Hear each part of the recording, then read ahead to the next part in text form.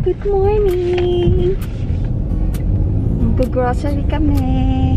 Today is Thursday. Eh, ewan. Pareho kami naka-face mask.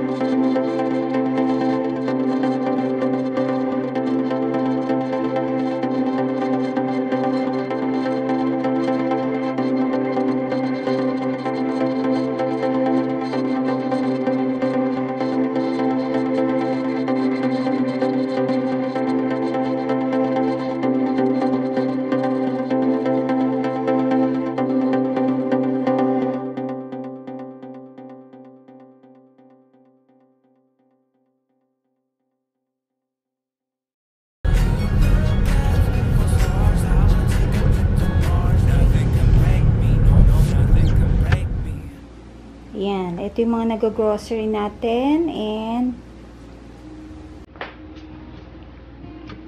sasalansan ko pa yan bago punasan ko pala muna ng alcohol bago ko siya itago. Especially yung mga delata so ayan. Medyo may mga tinatinapay tayo dyan mga chichirya din ito yung mga karne although naka, naka, nakabili rin naman ako ng konting karne kahapon sa palengke. So ito naman yung mga mga to, sa toilet toiletries. Ayan. bumili rin ako ng mga syempre chichirya tapos ito yung mga gulay. Ito yung mga whiskas para kay Missy Boy Okay guys, that's it. Sana nag-enjoy kayo sa pagsama sa akin pag-grocery.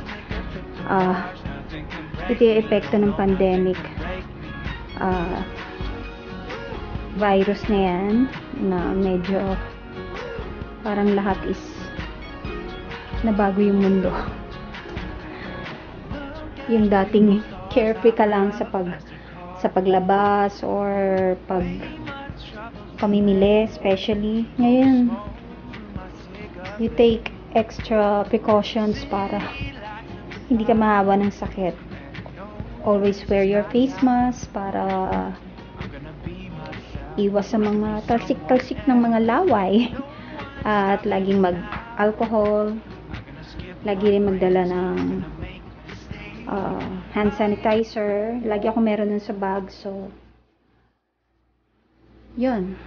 So, hanggang dito na lang guys and I hope to see you on my next vlog. Bye!